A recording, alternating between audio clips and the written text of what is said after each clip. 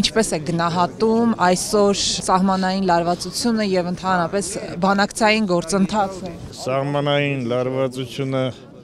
մշտապես արկա եւ լինելու է քանի դեռ մենք քաղաքական գործընթացները լիարժեք չենք վերջացրել Այս քաղաքական գործընթացները լիարժեք կվերջանան այն դեպքում, երբ որ մենք ավելի ուժեղանանք եւ ավելի հզոր համագործակից պարտներներ ունենանք։ Հիմա անհրաժեշտ է, որպեսզի մենք այդ բանակցային գործընթացում նստենք հավասար, հավասար թուրք կլինի, ազերի կլինի եւ այլն, ասենք ձեզանից էլ են գնում, մեզանից էլ են գնում։ Ինչ որ մեկի քաղաքական կամ ոչ հասկանալի հաջողությունների համար, ինչ որ մեկի ընտրությունների համար, ինչ որ բերեք մենք մեր կապերը վերականգնենք, խաղաղ պայմաններ ստեղծենք, ինչպես ռուս-թուրքական, հայ-թուրքական սահմանում է, այնպիսի պայմաններ ստեղծենք, որ զորքը քչացնենք, զոհերի հավանականությունը կքչանա, ինչքան զենք կա սահմանում կուտակված, անպայման կրակելու։ Ձեր առաջարկություն ներկայացրել եք պաշտպանության նախարարին կամ երկրի նախագահին։ Բոլորն էլ այդ առաջարկությունները գիտեն,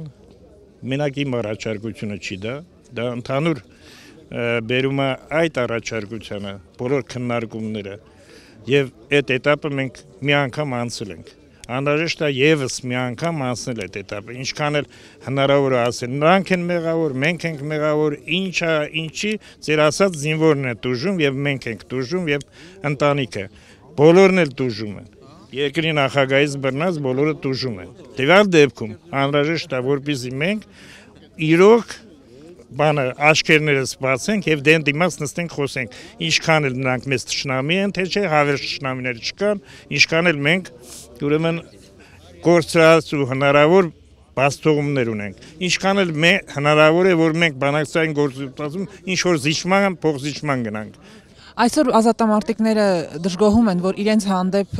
հատկապես իշխանությունների կողմից բացարձակ ուշադրություն չկա։ Ձեր մահապարտների խմբի նկատմամբ ինչպիսին է վերաբերմունք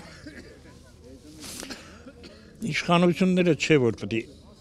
ազատամարտիկներին ուշադրություն դարձնեն։ Մենք ամբողջ ազգովի պետք է ուշադրության կենտրոնում պահենք բոլորին։ Եթե նոր ծնված երեխան ինչով է մեղավոր ազատամարտիկի երեխա է, թե ուրիշ մեկի կամ հասարակ աշխատավորի